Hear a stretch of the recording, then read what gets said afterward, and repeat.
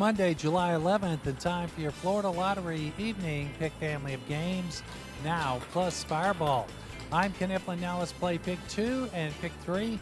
Tonight's winning pick two numbers five and eight, and your winning pick three numbers for tonight four, nine, and eight.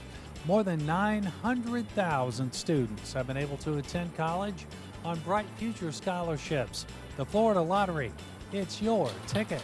Now it's time to play pick four and pick five. Your winning pick four numbers zero, one, one, and four.